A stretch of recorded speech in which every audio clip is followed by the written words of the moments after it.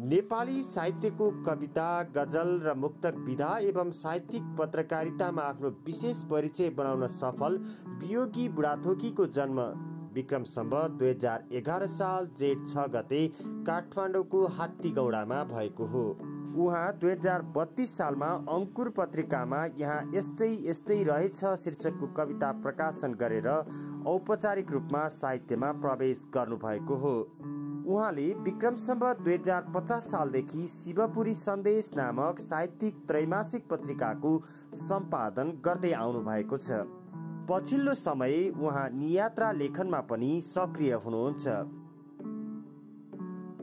साढे चार दशकदेखि अनवरत रूपमा साहित्य साधनामा समय बिताउनुभएका सृजनशील परिपक्व र सचेत नागरिकको जीवनचर्या कस्तो छ त?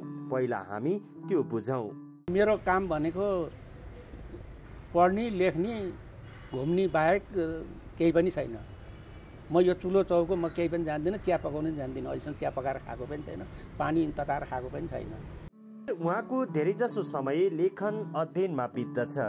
केही समय शिवपुरी त्रैमासिकको सम्पादनमा त केही समय प्रकाशनका लागि पाण्डुलिपिहरूको तयारीमा बित्दछ। साथीभाइहरूसँग साँझमा बियर पिउँदै संवाद गर्न रुचाउने उहाँको बानी नै हो। अगाडिसम्म फेरि भन्नु पर्दाखेरि चाहिँ नि कुनै दिन बियर खाएन भने निन्दै लाग्थेन पहिला? निन्दै लाग्थेन र म वर्षमा छ दिन खान्न खान्न थिएँ। छ दिन बाहेक वर्षैभरि खान्थेँ म। त्यो त्यो छ दिन कटाउन रात कटाउन मलाई गाह्रो पर्थ्यो। तर अहिले स्वास्थ्य र कोरोना कहरका कारण यसमा केही अन्तर आएको छ। सबैसँग मिलजुल गर्न चाहने सहयोगी विनम्र सकारात्मक स्वभावका स्रष्टा वियोगी बुढाथोकीलाई अहिले चाहिँ सधैँ हँसिलो मिजासिलो सृजनशील र ऊर्जावान देखिरहन पाऊ। हरेक पल डट कमको तर्फबाट यही शुभकामना। साझालाई सबैको साझा बनाउनु छ। साझालाई साझालाई सबैको साझा बनाउनु छ। मुलुकले गर्व गर्न लायक कृति छपाउनु छ। होस्टेका लागि निवेदन गर्छु हैसे भनिदिनुहोस् है। होस्टेको लागि निवेदन गर्छु हैसे भनिदिनुहोस् है। सहकार्यको माध्यमबाट ढल्दो घरलाई बनाउनु छ। सहकार्यको माध्यमबाट जीर्ण घरलाई बनाउनु छ।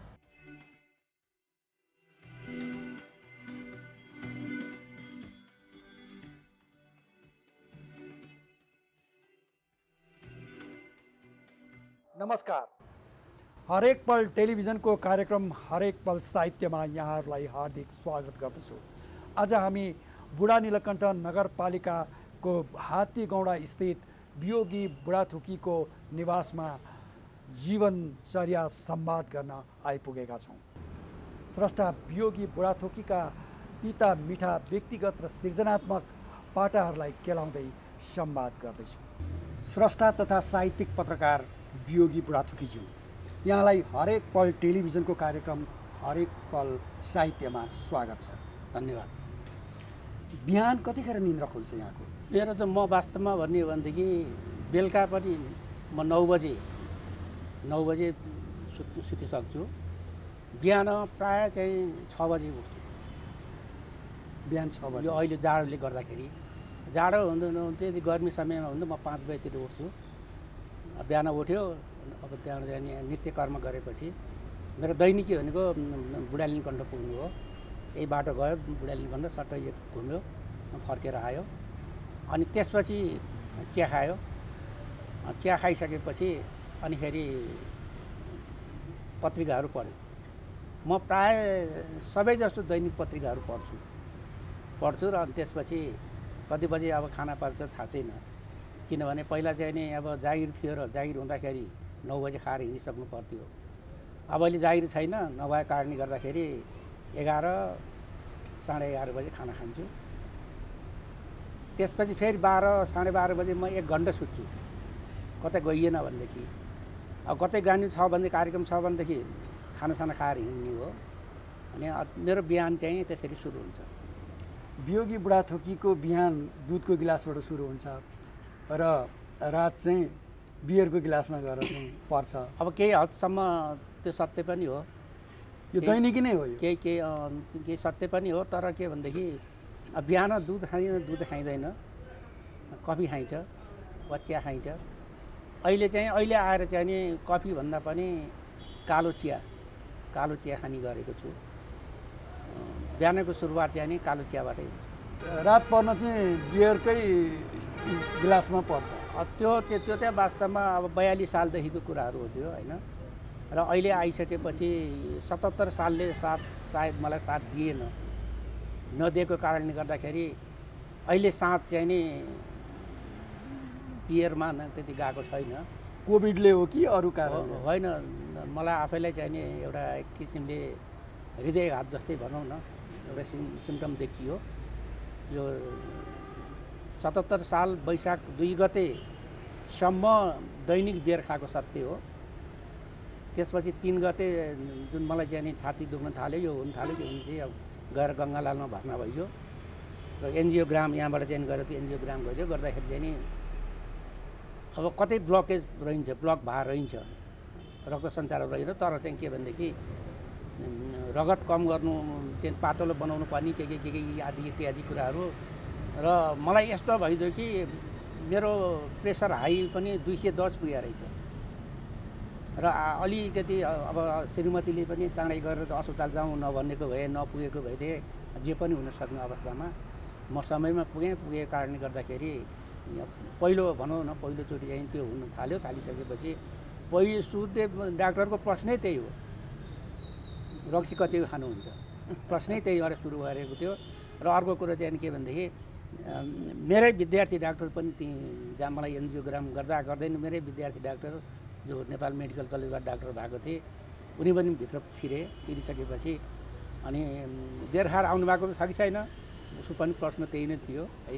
बिहान बिहान कसले खान्थ्यो र खानु त तै पनि अब प्रायः चाहिँ अब मान्छेले चाहिँ नि बेरकै कारण भन्ने पनि गर्थे। र अहिले गइसक्यो अहिले चाहिँ नि भन्यो भने दैनिक बेर खाएको छैन। यो कोभिडको कारणले दिनचर्यामा त धेरै फरकहरू आयो होला। यो समयमा चाहिँ सृजनात्मक कार्य कसरी अगाडि बढिरहेका छन्? कोभिडकै कारणले गर्दाखेरि कतिपय मान्छेहरूले चाहिँ यो सङ्ग्रह निकालेका छन् कोभिडकै बारेमा होइन? र मैले चाहिँ मैले पनि कोभिड सम्बन्धी केही गजलहरू लेखेँ केही मुक्तकहरू धेरै जस्तो मुक्तक लेखेँ मैले गजल लेखेँ कविता पनि लेखेँ। र वास्तवमा मैले चाहिँ सिर्जनामै बढी समय लगाएँ कोभिडको कारण किनभने एक किसिमले बन्दाबन्दी अवस्थामा घरमै बस्यो बाहिर कहीँ गइएन। यहीँ बस्ने कारण चाहिँ अब सुतिराख्ने कुरा पनि भएन हिँडिराख्ने कुरा पनि भएन के गर्ने त? पढ्ने लेख्ने पढ्ने लेख्ने काममा चाहिँ नि मैले यो कोभिडको कारणले गर्दा पहिलाको भन्दा अझ बढी चाहिँ नि लेखनमा चाहिँ नि अघि बढेँ। लेखकलाई लेख्नको लागि मनपर्ने समय चाहिँ तपाईँको लागि चाहिँ कुन हो? मेरो चाहिँ यही नै समय भन्ने खासै चाहिँ छैन। सही कुरो हो। अब मैले दिनभरि म कहिलेकाहीँ लेख्न खोज्छु लेख्न खोज्दा लेख्न पनि आउँदैन लेख्नै सकिँदैन अगाडि नै बढ्न सकिँदैन। र यो कुरो चाहिँ पक्का हो कि जब बेर बियर खान थालिन्छ नि बियर खाइसकेपछि कता कता यो दिमाग कहाँ कहाँ घुम्दै घुम्दै गयो ठ्याक्क चाहिँ नि एउटा विषयवस्तु ठ्याक्क आइपुग्छ क्या एउटा बिम्ब त्यहाँनिर देखा पर्छ नि। अनि त्यही बिम्बलाई समातेर चाहिँ नि अनि केही लेखिने गरेको छ। त्यसले प्रायः जस्तो चाहिँ नि साँझमा धेरै लेखिन्छ लेख्नु चाहिँ नि। तर यही समयमा लेख्नुपर्छ भन्ने चाहिँ नि त्यस्तो तालिका मेरो छैन। छ कसैलाई भुइँमा बसेर लेख्न सहज हुन्छ? कसैलाई कम्प्युटरमा लेख्न सहज भइरहेछ आजकल भने कस- कसैलाई कागजमै लेख्न जति म आनन्द अरूमा आउँदैन। तपाईँको चाहिँ यस्तै कस्तो अनुभव छ? मेरो चाहिँ कस्तो नि म चाहिँ नि भन्ने हो भनेदेखि मैले दुई हजार तिस सालमा तिस सालमा काठमाडौँ उपत्यकाभित्रै म पाँच सातजनाभित्र त्यो टाइपिस्टहरूमा पर्थेँ टाइप गर्नेमा। मेरो अङ्ग्रेजी र नेपाली त्यति राम्रो थियो। भन्दा मैले जुन ठाउँमा टाइपिस्टमा दरखास्त दिन्थेँ त्यो ठाउँमा म नाम निकाल्थेँ। तिस एकतिस सालको कुरो त्यसले गर्दाखेरि त्यो टाइपराइटरमा त्यति फास्ट हुन्थ्यो मेरो। त्यतिखेर चाहिँ टाइपराइटरमा वास्तवमा भन्यो भने कविताहरू गरिन्थेन त्यो चाहिँ हातैले लेखिन्थ्यो। र पछिल्लो उसमा आइसकेपछि जुन चाहिँ यो ल्यापटपहरू आउन थाले भनौँ न कम्प्युटरहरू आउन थाले ती चाहिँ यो साधनहरूले गर्दाखेरि चाहिँ नि अहिले पनि कतिपय म चाहिँ नि हिँड्दा हिँड्दै पनि त्यो ल्यापटपमा हालिहाल्छु। जस्तै म भनौँ अब मैले नियात्रा लेखेकै थिएन। जब म स्कटल्यान्ड गएँ स्कटल्यान्ड गइसकेपछि स्कटल्यान्डको बारेमा मैले किताब निकालेँ र अर्को एउटा चाहिँ जुन म बेल के अरे अस्ट्रेलिया गएँ अस्ट्रेलियाको बारेमा मैले किताब निकालेँ। त्यहाँ जुन ठाउँमा हेर्न गइन्छ नयाँ ठाउँमा गइसकेपछि त्यहाँको चाहिँ नि देखेका दृश्यहरू त्यहाँको चालचलनहरू त्यहाँको भाग भङ्गि भङ्गिमाहरू भनौँ अनेक कुराहरू हुन्छ नि। ती कुराहरूलाई चाहिँ नि सट्ट चाहिँ नि अब ल्यापटपमा हालिहाल्यो। ल्यापटपमा हालिसकेपछि त्यो त्यो त्यहाँबाट काहीँ जाँदैन त्यो त। भन्दा लेखेको कागजहरू हराउन सक्छ कि ल्यापटपै हरायो भने सबै गइहाल्छ। भने अहिले चाहिँ नि पछिल्लो समयमा आए चाहिँ नि लेख्नेभन्दा बढी ल्यापटपमै टाइप गर्न मलाई सजिलो पर्छ। किनभने मेरो अहिलेसम्म पनि टाइप गर्ने बानी चाहिँ मलाई त्यो हेर किबोर्ड हेरिराख्नु पर्दैन। सरर चाहिँ नि मेरो औँलाहरू सक्छ। त्यस कारण चाहिँ ल्यापटपमै म गर्छु। कुनै नयाँ सङ्ग्रहहरू तयार भइसकेका छन् कि तयार हुने क्रममा छन्? एउटा मेरो नियात्रा सङ्ग्रह जुन नेपालभित्रै चाहिँ भित्रका छन् त्यो एउटा तयारी छ। र अर्को एउटा अब तयारी नै छ भनौँ। त्यो मनोज नेउगानेगा पुगेको छ। अब मनोज नेउगानेगा कहिले फिर्ता आउँछ र त्यो प्रकाशित हुन्छ थाहा छैन। प्रत्येक दिन जस्तो फेसबुकमा मुक्तकहरू पोस्ट गरिराख्नु भएको हुन्छ। यो प्रत्येक दिनै लेख्नुहुन्छ मुक्तक? म प्रत्येक दिनै लेख्छु। आज पनि लेख्नु भएको प्रत्येक दिन आज पनि लेखेको छु। सुनाउनु त लेखाएको तर के भनेदेखि अब यो चाहिँ यो यो समसामयिक हो भने मेरो व्यक्तिगत उसबाट समसामयिक नै भनौँ। आज जुन जुन साझाको मा चाहिँ नि सञ्चालक समितिको उम्मेदवारी छ उम्मेदवारी फिर्ता लिने वा नलिने भन्ने कुराहरू चाहिँ त्यसै बारेमा चाहिँ उसलाई भनेर एउटा बिहान उठेपछि गरेर सम्झिहालेँ। साझालाई सबैको साझा बनाउनु छ। साझालाई साझालाई सबैको साझा बनाउनु छ। मुलुकले गर्व गर्न लायक कृति छपाउनु छ। होस्टेका लागि निवेदन गर्छु हैँसे भनिदिनुहोस् है।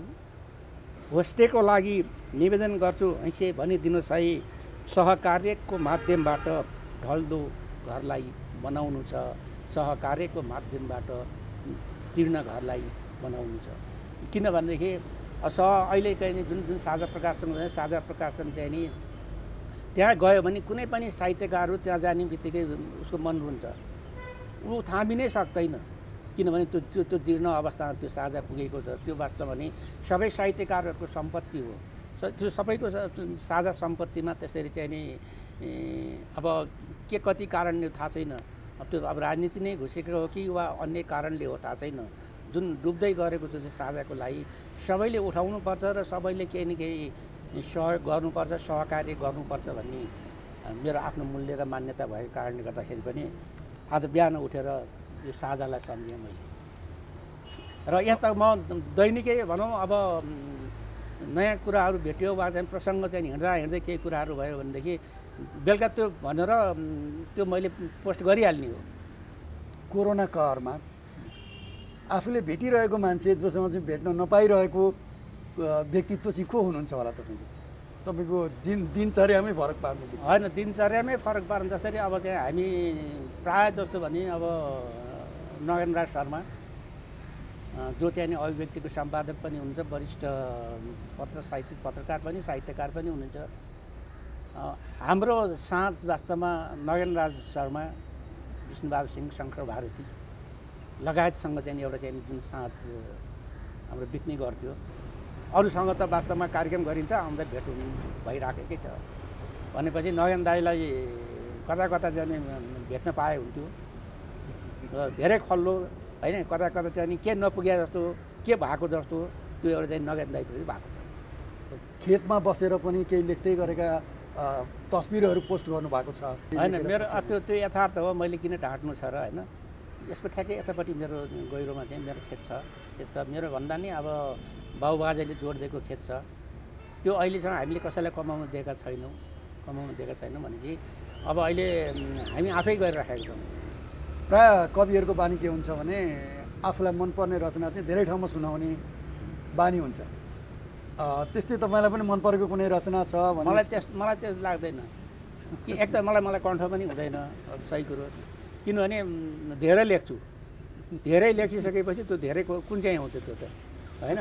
अब कतिले के गर्छन् नि थोरै लेख्छन् जहाँ गए पनि त्यही एउटा त्यो सुनाउँदा सुनाउँदा त्यो अब सुनाउनुलाई केही मतलब छैन सुन्नेलाई चाहिँ त्यो वाक्कै भइसकेको हुन्छ। त्यसले गर्दाखेरि त्यो कसैलाई वाक्कै पार्ने गरिदिनु म गर्दिनँ र अर्को मलाई कण्ठ पनि हुँदैन। मैले हेरेर पढ्ने हो किनभने धेरै लेखिन्छ धेरै लेखेपछि कुन चाहिँ कन्- कण्ठ गर्ने त? शिवपुरी साहित्य समाजको अध्यक्ष हुनुहुन्छ। शिवपुरी सन्देश त्रैमासिकको प्रधान सम्पादक प्रकाशक हुनुहुन्छ। तपाईँलाई यो त्यसमा दिने समय त्यसका लागि व्यतीत गर्ने समयको दिनचर्यामा यो कोरोना कहरले कसरी फरक पारेको छ? होइन अब जस्तै अब कोरोनाको कर हुँदा हुँदै पनि मैले शिवपुरी सन्देशको दुईवटा विशेष सङ्ख्या निकालेँ। एउटा यो पुरै यो बुढालिङ्गण्ड नगरपालिकाभित्रको संस्था र सिर्जना भनेर र अर्को चाहिँ नि कोरोनाको करमा लघु रचना भनेर दुइटा त्यो नै निकालेँ। अन्त अब यो त के भने आफै टाइप गर्ने हो म। अब सामग्री भइसकेपछि अब अरूले चाहिँ दिएको चाहिँ आफैले टाइप गरेर गर्ने हो। प्रेसमा लगाएर दिइसकेपछि उसले चाहिँ खालि के भने हो गेटअप सेटअप बनाइदिने गरेर चाहिँ चेन्ज के अरे छाप्ने मात्रै हो होइन। अन्त म आफै टाइप गर्छु टाइप गर्ने कारणले गर्दाखेरि मलाई त्यति गाह्रो पनि हुँदैन। र एउटा गाह्रो चाहिँ यो कोरोनाको कहरले पक्कै पनि भएको छ।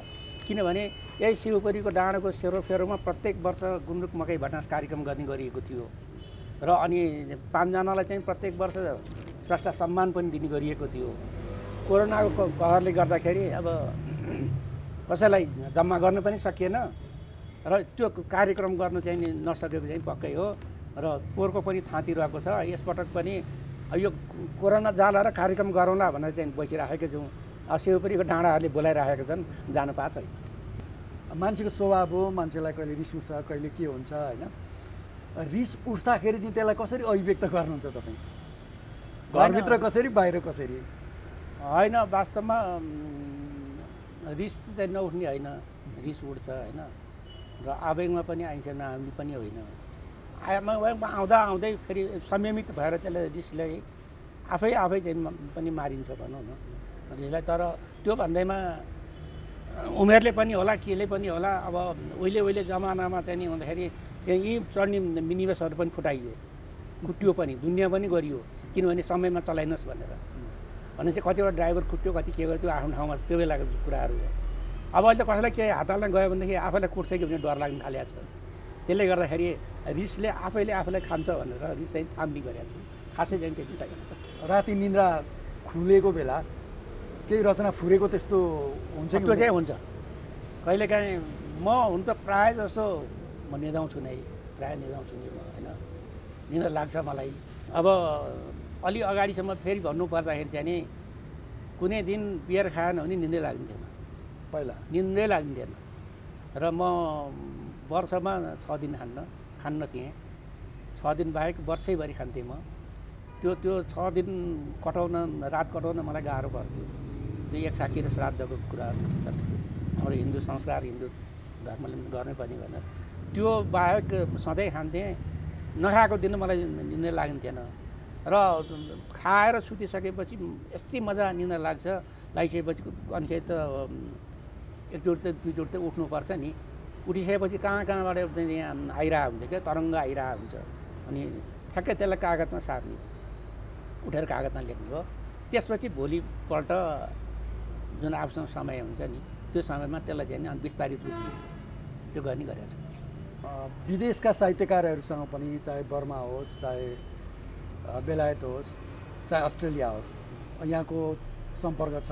कतिको दैनिक जस्तो कुराकानी पनि कहिले हुने गर्ने साहित्यकारहरू पनि छन् कि? पक्कै पनि छ। किन छ भनेदेखि मैले म बेलायत पुगेँ। बेलायतको पनि अब लन्डन स्कटल्यान्ड आयरल्यान्ड जहाँ जहाँ पुगेँ नि त्यहाँका नेपाल त्यहाँ पुगेका नेपालीहरू जो चाहिँ साहित्यमा रुचि राख्नुहुन्छ उहाँहरूसँग मेरो सम्बन्ध छ। र अहिले भर्खर पनि हिजो भर्खरै शिवपुरी सन्देशको नब्बे अङ्क नि बजारमा आएको छ। त्यसमा भन्ने हो भनेदेखि आसाम सिक्किम बर्मा लगायतका छ र कुनै कुनै अङ्कमा नि अस्ट्रेलियाका मान्छेहरूको कुनै कुनै बेला बेलायतका मान्छेहरूको उहाँहरूको पनि त्यहाँ रचनाहरू आएको छ। आउनुको अर्थ के भनेदेखि उहाँहरूसँग मेरो निरन्तर सम्बन्ध छ संवाद हुन्छ र अब कतिपय त भने यो फेसबुकको मुहार पुस्तिकाको मार्फत पनि हाम्रो सम्बन्ध यथावत रहिरहेकै छ। र अर्को कुरो के छ भनेदेखि अब मेरो जुन ठुल्छोरी हो एकता बुढाथोकी ऊ अस्ट्रेलियामा छ ऊ पनि साहित्यमा रुचि राख्ने साहित्य लेख्ने भएको कारणले गर्दाखेरि पनि त्यतातिर पनि सम्बन्ध विस्तारित हुँदै गएको छ भने लन्डनमा मेरो भाइ डाक्टर सुनिल बुढाथोकी र सुशीला कार्की मेरो बुहारी हो। उनीहरू पनि साहित्यमा रुचि राख्ने र त्यहाँको साहित्यिक सम् सङ्घ संस्थाहरूसँग आबद्ध भएको कारणले गर्दाखेरि पनि यताको रचना उता उताको रचना यता गर्ने काम भएकै छ। र अब बर्मासँग त कुरै छैन बर्माको त धेरैसँग हाम्रो सम्बन्धै छ हामी किनभने गएर पनि आयौँ। सात आठ दिनसम्म हामी कार्यक्रम गरेरै रमाइलो गरेर आएको हो त्यसले गर्दाखेरि त्यो यादहरू त्यो क्षणहरू ती सम्झनाहरू अहिले पनि ताजै भएर आइरहेका छन् बर्मासँग पनि र अनु अन्यसँग पनि। र गीत गुनगुनाउनु गुन गुनगुनाउनु पर्दाखेरि अर्थात् घरमा गुनगुनाइन्छ बाथरुममै भए पनि गुनगुनाइन्छ। कुन गीत गुनगुनाउनुहुन्छ तपाईँ? होइन वास्तवमा भन्यो भने अब अहिले त म त्यति गुनगुनाउँदिनँ होइन। एउटा कालखण्ड यस्तो कालखण्ड थियो कि जो एउटा सोले फिल्म हेर्न म रक्सोल पुगेको छु। सोले फिल्म हेर्न रक्सोल पुगेर लगातार तिन सो हेरेर फर्किँदाखेरि पैसा नभएर सिमन्ज्याङको बाटो ट्रकको हुडमा हुडमा बसेर आएर काठमाडौँमा आइसकेपछि पुरा बिरामी भएर ज्वरो आएर थल्लिएको पनि छु। त्यतिखेर अब हिन्दी गीतहरू चाहिँ नि प्रशस्तै गाइन्थ्यो। टुटे फुटेको छ भनौँ न। अब सबै कण्ठ हुने कुरा त भएन। टुटे फुटेको गीतहरू गाइन्थ्यो खासै नेपाली गीतहरूमा त्यति उतै छैन। तैपनि म लोकगीतप्रति एकदमै आकर्षित छु। किनभनेदेखि लोकगीत बज्यो भनेदेखि त्यहाँ मलाई नाच्न मन लाग्छ। म नाच्छु। हामी कतिपय यहाँ गाउँघरतिर त्यहाँनिर सप्ताहहरू लगाए सप्ताह लगाएका हुन्छ भनेदेखि हामी बुढाबुढी नै नाच्ने हो। त्यो त्यो भजनमा पनि नाच्ने हो लोकगीतमा नाच्ने हो होइन? बिहेमा त धेरैचोटि ना धेरै बिहेमा म पनि तपाईँ पनि सहभागी भएका जन्ती अथवा बेहुलीपट्टि सहभागी भएका ठाउँमा तपाईँले नाचेको देखेको छु मैले। यो कोरोनाले गर्दाखेरि त धेरै ना नाच्ने रहर खण्डित भयो जस्तो छ। अँ खण्डित होइन यति मात्रै हुनु यो कोरोनाले गर्दाखेरि त अब कार्यक्रमै भएको छैन कार्यक्रम नभएपछि त अब नाच्ने कुरो पनि भएन। बिचमा यहाँ यहाँ हात्तीगाउँडा कम्प्लेक्समा चाहिँ नि सप्ताह लगाएको थियो। हामी सप सप्ताहमा चाहिँ नि त्यो कोरोना हुँदाहुँदै पनि गएर अलिकति सुरु हो कि हो कि जस्तो अवस्था थियो चाहिँ नि नाचियो जब कोरोनाको कहर चाहिँ नि बाक्लिसकेपछि त कार्यक्रमै भएको चाहिँ कुरै भएन। अब न त नाच्ने नै कुरा गर्नु भने म स्कटल्यान्डमा गएर नि नाचेँ। अनि अस्ट्रेलिया गएँ। त्यहाँको महावाणिज्य दूतसँगै चाहिँ नि दुईजना नाच्यौँ। हामी मजाले नाच्यौँ। त्यो मैले बेलगेटको त्यो रोल रियलमा पनि लेखेको छु त्यो त्यो कुरो होइन? बर्मामा पनि नाच्नु बर्मा बर्मामा नाचेर त पैसा कति फालेको थिएँ? फालेको थिएँ त्यो अब मनोजले देखेकै कुराहरू हो होइन? र त्यति मात्रै होइन परारको साल हामी पाल्पामा म चाहिँ चौतिस सालमा एकचोटि पाल्पा त्रिभुवन बहुमुखी क्याम्पसमा जागिर खाएर पुगेको थिएँ चार महिना बसेको थिएँ। त्यही भएर त्यो घर घरबेटी जहाँ घरमा म डेरा गरेर बस्थेँ। चौतिस सालको कुरो अब पो पर पोहोरको परारको साल चाहिँ नि सप्ताह लगाएर चाहिँ निम्ता आयो। निम्ता आइसक्यो आइसकेपछि त्यही पनि यो नेपालमा बन्दाबन्दी के केले बन्दाबन्दी थियो। त्यही पनि हामी बुढाबुढी पुग्यौँ। पुगिसकेपछि हामी दुई दुई दिन बस्यौँ त्यहाँ पाल्पामा। दुई रातै हामी बुढाबुढी नाचे नाचे सप्ताहमा। त्यहाँ पनि एउटा त्यहाँनिर रेकर्डै कायम गरेर काठमाडौँ भएको काठको मान्छे आयो यसरी नाचे यो गरेँ भन्ने कुरो चाहिँ त्यहाँ पनि पछिसम्म पनि हल्ला हल्ला भएको थियो क्या। त्यो भनेको चाहिँ एउटा कुरा रुचि पनि हो। अर्को चाहिँ नाच्नु भनेको अब हाँस्नु भनेको कति त स्वास्थ्यको लागि पनि फाइदाजनकै हुन्छ भन्छन् होइन? मलाई नाच्न चाहिँ मनपर्छ। तपाईँको शिवपुरी सन्देशका आवरण पृष्ठ कति एकता बुढाथोकीले बनाएको देखिन्छ? छोरीले एसएलसी पास गर्ने बित्तिकै उसको नर्सिङ पढ्ने योजना थियो। मैले अस्ति यो ठाउँमा लेखेँ पनि। योजना थियो त्यतिखेरको यो नर्सिङ पढ्नेको परीक्षा नियन्त्रण महाशाखा प्रमुख म आफै थिएँ। परीक्षा नियन्त्रण महाशाखा प्रमुख आफै दरखास्त आफै केलाऊ अनि आफै रिजल्ट निकाल गर्दाखेरि त छोरीको नाम त नि अब भनौँ उसको मिहिनेतले निस्क्यो भने पनि ऊ बाउ छोरा निकाल्यो भन्छन्। त्यो भन्नको लागि छोरीले इच्छा गर्दा गर्दै पनि मैले नर्सिङमा दरखास्त हाल्न दिइनँ। र बलजबस्ती लिएर गएर फाइन आर्ट्समा चाहिँ ललित कलामा भर्ना गरिदिएँ। ले त्यहीँबाटै डिप्लोमा गरेर अनि डिग्री गर्न अस्ट्रेलिया गएको। एउटा मान्छेको इच्छा। अब उद्देश्य केलिनु उडी सुन्नु भन्छन् होइन जुन देवकोटाले भनेको थिए। र अहिले आएर झन्डै दस बाह्र वर्षपछि छोरीले जुन आफ्नो पेसा नै गरेर अस्ति भर्खरै नर्सिङको चाहिँ नि ब्याचलर इन नर्सिङमा चाहिँ नि के अरे प्रमाणपत्र हासिल गरिसकेको अवस्था भयो छोरीले एकता बुढाथोकीले नै शिवपुरी सन्देश मात्रै नभएर कतिपय एकाडेमीका कतिपय साझा प्रकाशनबाट उनी गरिमा या कविताहरूको लागि पनि उसले आवरण र कतिपय उम्, साहित्यकारको युवा साहित्यकारहरूको भनौँ न पनि आवरण छोरीले नै बनाएको थियो। र अहिले पछिल्लो पटक आएपछि पनि जुन ऊ नर्सिङमा धेरै समय दिनुपर्ने कारणले गर्दाखेरि अब फेरि अस्ट्रेलिया भने बाहिरमा त्यही त हो नि यतातिर काम पनि गर उतिर पढ पनि। अनि अब अब छोरी मान्छे घरमा काम पनि गर्नै पर्यो। भन्दाखेरि दोहोरो तेह्रो मारले गर्दाखेरि पछिल्लो समयमा उसको आवरणहरू त्यति उसले बनाउन पाइरहेको छैन हालिया पनि छैन। ऊ ऊ गएकै बाह्र वर्ष कति भयो होइन।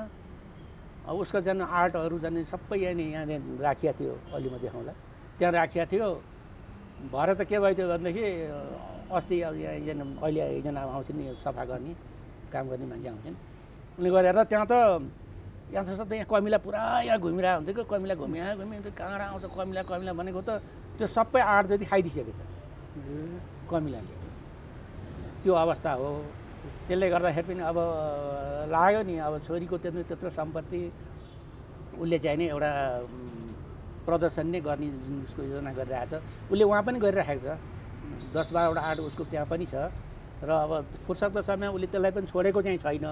सुरुमा उसको रुचि होइन तर अहिले चाहिँ नि कति समय भावले मात्रै हो अहिले पनि उसले चाहिँ त्यो पेसा छोड्या छैन।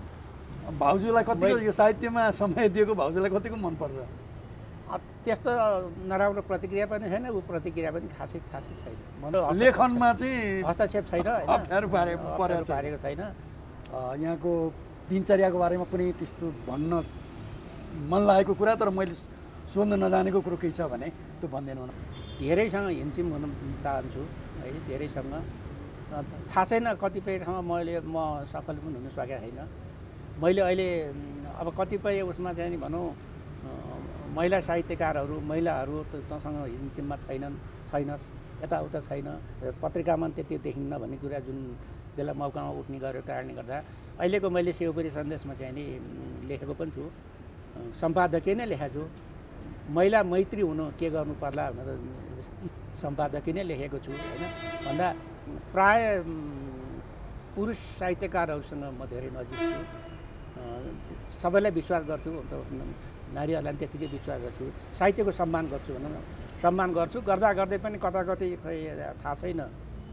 सबै आफ्ना हुँदैनन्। सबै आफ्ना हुन् भन्ने चाहिँ नि प्रयत्न मेरो रहन्छ त्यति मात्रै हो। अब यसको यो अब कतिौँ श्रृङ्खला हो मलाई थाहा छैन। यो यो श्रृङ्खला चाहिँ एकदम उच्च शिखरमा पुग्ने गरी तपाईँहरूको यात्रा जाओस्। शुभकामना भन्छु बधाई भन्छु धन्यवाद भन्छु। हामी पनि यहाँको सुस्वास्थ्यको कामना गर्दै अ, सृजनात्मक लेखनको निरन्तरता र सफलताको कामना गर्दै यो बिहानको जाडोमा बुढो मान्छे खाम्दै खाम्दै पनि अन्तर्वार्ता दिनुभएकोमा हार्दिक आभार प्रकट गर्दछु। धन्यवाद त्यसलाई धन्यवाद। हवस् त दर्शकवृन्द आजलाई दिनचर्या कार्यक्रम यति नै। आगामी हप्ता शनिबार हामी फेरि अर्का स्रष्टाका साथमा जीवनचर्या संवाद लिएर उपस्थित हुने नै छौँ। त्यतिन्जेललाई बिदा दिनुहोस्। नमस्कार।